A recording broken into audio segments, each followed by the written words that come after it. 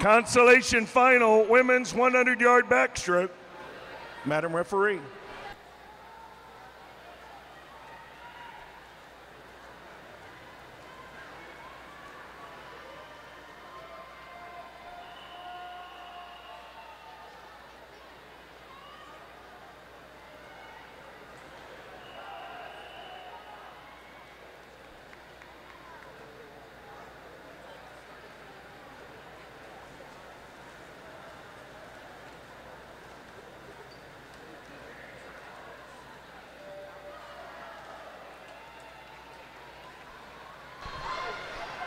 Here they are.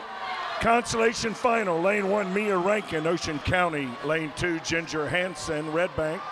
Lane three, Isabel Pennington, Northwest, North Carolina. Lane four, Marley Rickert, Reading, and Berks. Lane five, Madeline Riley, Spartanburg. Lane six, Maggie Clow, Countryside. Lane seven, Esme Hunter, Westport. And lane eight, Sarah Turchanik, Ridgewood.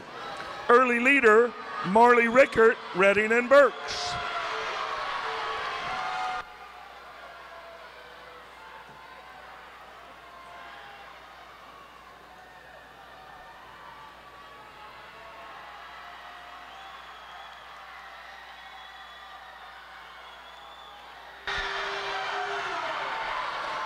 Winner of the consolation final, Marley Rickert.